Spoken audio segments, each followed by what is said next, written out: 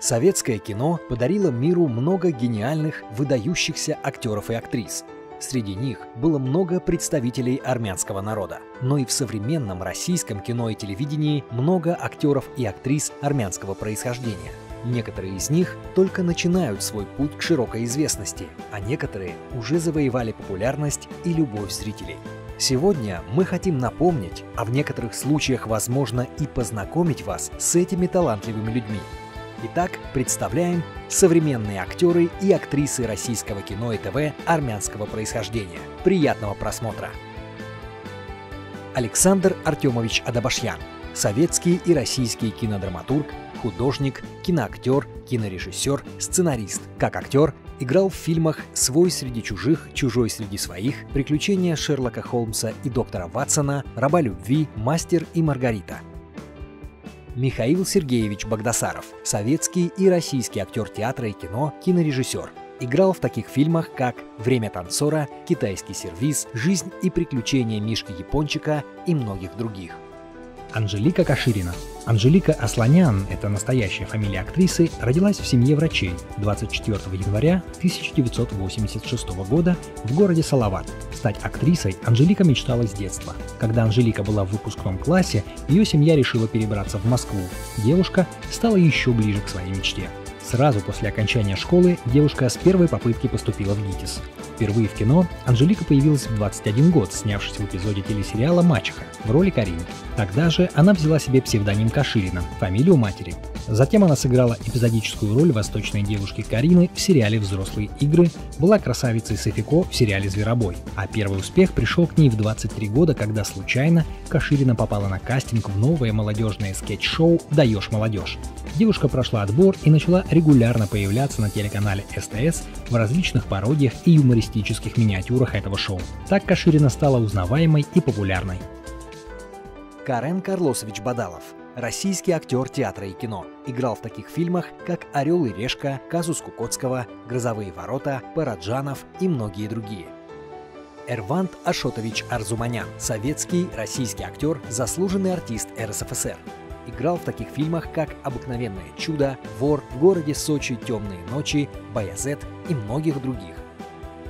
Наталья Еприкян Наталья Андреевна, настоящее имя Наталья Арайковна Еприкян, родилась 19 апреля 1978 года в Тбилиси, Грузинская ССР. Участница и автор телепроекта Comedy Woman, актриса юмористического жанра, телепродюсер. С 2004 по 2007 годы участница команды КВН «Мегаполис». В 14 лет Наташа с родителями переехала в Москву. Ее тянуло на сцену и в любимый ею КВН. 2004 год стал звездным не только для команды, за которую играла Наталья, но и для нее самой. Маленькая кавказская девушка вместе с командой победила в КВНовской премьер-лиге, а уже в следующем сезоне захватили высокую ступень высшей лиги. Но это было началом или своего рода прототипом яркого и необычного шоу. Популярность Еприкян стала расти. Ее часто приглашают в качестве одной из звездных гостей в различные программы и проекты, она попробовала свои силы в интеллектуальных программах «Кто хочет стать миллионером» и «Интуиция».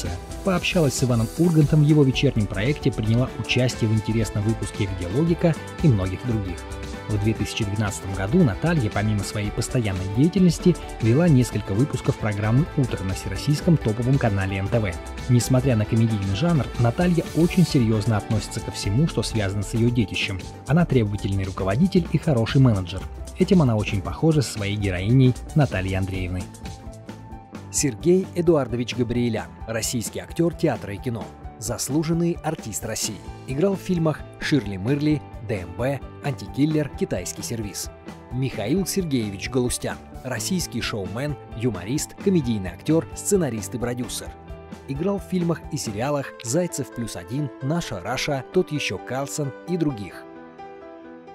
Друзья, у нас для вас великолепная новость.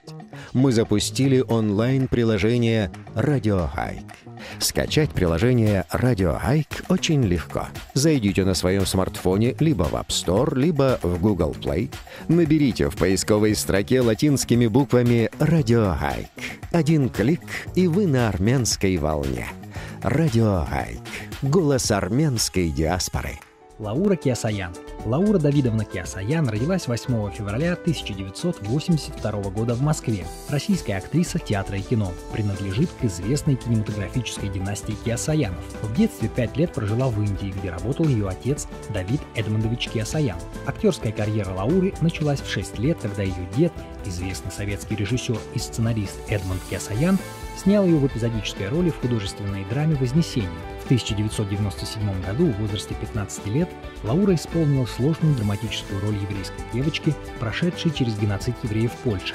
В видеоклипе на песню «Скрипка леса» Игоря Саруханова клип снял дядя Лауры, кинорежиссер и клипмейкер Тигран Киасаян. В 2008 году окончила актерский факультет Театрального института имени Бориса Щукина. Снялась в художественных фильмах и телесериалах «Кодекс чести 2», «Склифосовский» и «Джуна».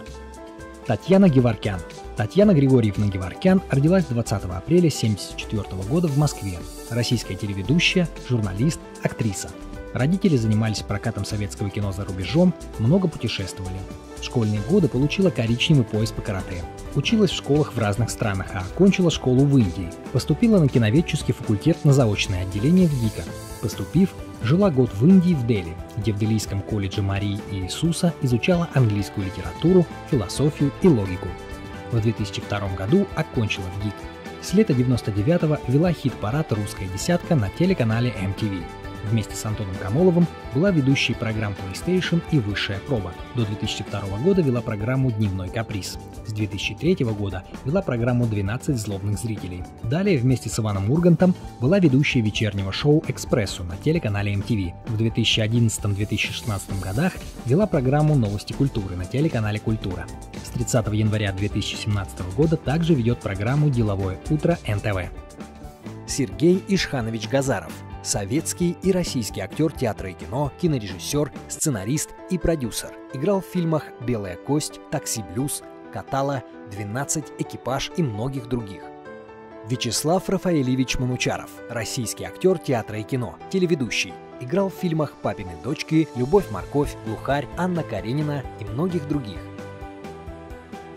Нелли Уварова Нелли Владимировна Уварова родилась 14 марта 80 -го года в Литве. Российская актриса театра и кино. Моя мама чистокровная армянка, рассказывает о себе актриса. Я родилась в Ашхабаде, выросла в Грузии. До 14 лет я жила в Тбилиси, затем переехала в Москву. Там началась совсем другая жизнь. Тем не менее, связи мы поддерживаем. У нас большая семья с богатыми традициями. Например, если говорить о еде, то на Новый год у нас подаются исключительно армянские и грузинские блюда. Нас с сестрой Леной воспитывали в очень жестких рамках. В 2005 году актрису приглашают на главную роль сериала «Не родись красивой», в котором Нелли исполняет роль очаровательной дурнушки Екатерины Пушкаревой, которая прославила Нелли на всю страну. Владимир Арустамович Епископосян, советский и российский актер театра и кино, заслуженный артист Российской Федерации. Играл в фильмах «Пираты 20 века», «На Дерибасовской хорошая погода» или «На Брайтон-Бич опять идут дожди», «Next» и многих других. Гаспарян Игорь Грачикович, российский актер, играл в фильмах «Всадник по имени Смерть», «Ночной дозор», изображая жертву, «Небесный суд» и многих других. Ольга Кокорекина, Ольга Кокорекина или Ольга Петросян – российская тележурналистка, теле- и радиоведущая. В разное время работала на РТР, Первом, Пятом канале и ТВ-центре. Родилась в Москве в семье ученых-химиков Владимира Анушавановича Петросяна и Валерии Алексеевны Кокорекиной. В конце 93 -го года стала работать в ВГТРК редактором, позже корреспондентом в «Утренних вестях». С ноября 1997 по сентябрь 2000 вела информационную программу «Вести» на телеканалах РТР и «Культура». Сначала дневные, а потом вечерние выпуски в паре с Олегом Алалыкиным. Осенью 2000 года Ольга перешла работать на телеканал ОРТ, впоследствии переименованный в Первый канал. С сентября 2001 до конца 2006 года являлась ведущей дневных и вечерних выпусков новостей. В 2007-2008 годах вела ночные новости. При этом Ольга считает, что главная карьера женщины – карьера матери. Микаэл Арамян, российский актер, играл в фильмах «Шпионские игры», «Лестница в небо», «Землетрясение». Микаэл Каренович Джанибекян, актер кино, играл в фильмах «Дежавю», «Дальнобойщики», «Легенды о круге», «Землетрясение» и других. Анна Вартанян, Анна Михайловна Астраханцева – российская актриса театра и кино, которая также появляется в титрах фильмов под своей настоящей фамилией Вартанян. Кинозрителям известна по экранизациям знаменитых пьес и романов русских писателей и драматургов «Сад», «Анна Каренина», «Две женщины». Будущая актриса родилась в Саратове. Отец, Михаил Вартанян, работал хирургом, а параллельно профессионально занимался живописью. Мать Людмила вела домашнее хозяйство. В пятом классе Анна определилась с выбором будущей профессии. В 1998 году Анна Вартанян переезжает в Санкт-Петербург, чтобы служить в театре имени Комиссаржевской. В 2014 году стала лауреатом высшей театральной премии Санкт-Петербурга «Золотой софит» за режиссерскую и актерскую работу в спектакле «Графоман». В сериале «Смерть шпионам Крым», в котором рассказывается о секретной операции по предотвращению диверсии на Ялтинской конференции лидеров государств-союзников, состоявшейся в 1944 году, актриса снялась в главной роли. Снималась также в центральных ролях сериалов «Мажор» и «Клим». Георгий Хачатурович Мартиросян, советский и российский актер театра и кино, заслуженный артист Российской Федерации. Играл в фильмах «Д'Артаньян и три мушкетера», «ТАСС уполномочен заявить», «Ворошиловский стрелок» и многих других. Иван Джон Ридович Аганесян, российский киноактер. Играл в фильмах «Закон и порядок», «Отцы», «Нюхач» и других. Илона Маркарова. Окончила СПБГ курс народной артистки Антоновой, актриса Санкт-Петербургского театра Театро Ди Капуа, обладательница Гран-при премии имени Сергея Курехина 2011 года. О себе Илона говорит «Я родилась и выросла в Тбилиси, но в один момент там вдруг стало непрестижно говорить по-русски. Папа у меня полковник советской армии, мама – преподаватель русского языка и литературы в институте. Сами понимаете, профессии обоих внезапно остались на родине невостребованными. А здесь, в Петербурге, еще с советских времен, у меня жила тетя, мамина сестра. Она закончила медицинский институт и осталась работать, поэтому решение переехать было логичным. Для меня Петербург с детства город мечты, это же место, где творил Майк Науменко, Виктор Цой. Когда поступила в театральную академию, мои тбилисские одноклассники очень много гордились. Слава Ашотович Степанян, актер, театральный деятель. Руководит Московским армянским театром. Играл в фильмах «Ашик Кирип», «Баязет», «Метро» и других. Родион Рафаилович Нахапетов, советский, американский, российский актер, кинорежиссер и сценарист, народный артист РСФСР. Играл в фильмах «Застава Ильича», «Раба любви», «Нежность», «Торпедоносцы» и многих других. Римма Саркисян родилась 9 августа 1993 года в Санкт-Петербурге. В 2014 году окончила СПБГ курс Алексахиной и была принята в студию при театре Ленсовета. Снималась в фильмах «Гадкие лебеди» и «Луна в зените». Жан Эдуардович Хангулов, по другим данным, Хангулян Жан Даниэль Эдуардович, советский и российский кино и театральный актер, режиссер, основатель театра для глухих в Таллине. Играл в фильмах «Баязет», сочинения «Ко дню Победы», «Ледниковый период», «Рут и Сэм» и других. Арарат Геворкевич Кищан, российский комедийный актер, радио и телеведущий. Играл в сериале «Универ» и «Универ. Новая общага», «Мамы», «Саша Таня» и других.